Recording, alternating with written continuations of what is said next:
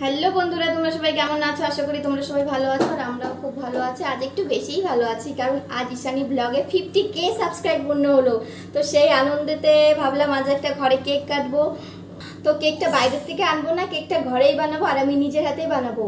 তো চলো রেসিপিটি শুরু করা যাক। তুমি দুটো ডিম ফাটিয়ে নেব।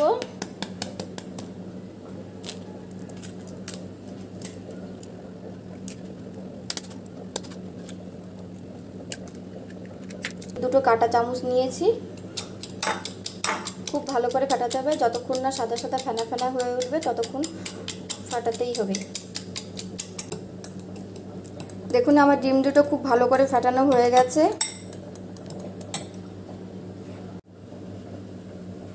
এবারে একটা ছাঁকনিতে দু কাপ ময়দা দেবো।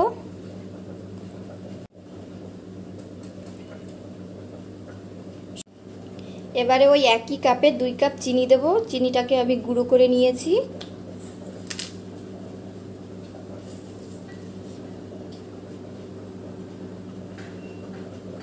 দু কাপ দু কাপ চিনি দেওয়া হয়ে গেছে আমার।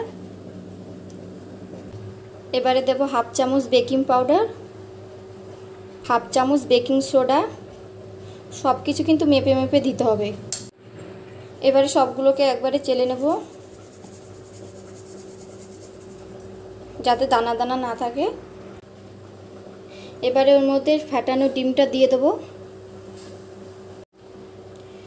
ডিমটা দিয়ে আমি খুব ভালো করে এবার একটু মিশিয়ে নেব। এবারে এর মধ্যে দিয়ে দেবো এক কাপ তেল। আমি এখানে সাদা তেল নিয়েছি এক কাপ। এবারে দেবো এক কাপ দুধ। এখানে আমি দুধটা গরম করে ঠান্ডা করে নিয়েছি। এবারে সব কিছু ভালো করে একবারে মিশিয়ে নিতে হবে। খুব ভালো করে মেশাতে হবে যাতে এর মধ্যে কোনো দানা দানা না থাকে।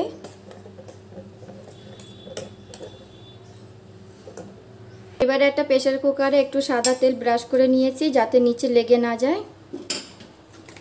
এবার প্রেশার কুকারের সাইজে একটা পেপার গোল করে কেটে নিয়েছি, সাইজ করে কেটে নিয়েছি। নিচে দিয়ে দেবো, ঢেলে দিয়ে দেবো।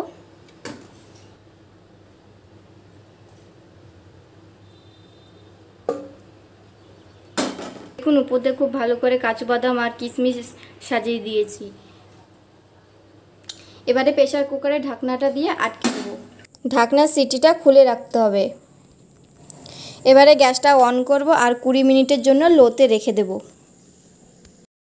কুড়ি মিনিট হয়ে গেছে, এবারে প্রেশার কুকারে ঢাকনাটা খুলে দেখব হয়েছে কিনা। দেখুন কেমন ফুলে উঠেছে। হয়েছে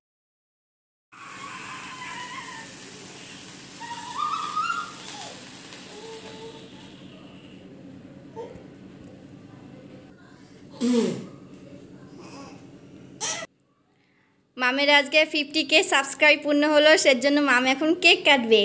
মাম কেক কাটো। না, ওটা কাটো। মাম, কি করছ?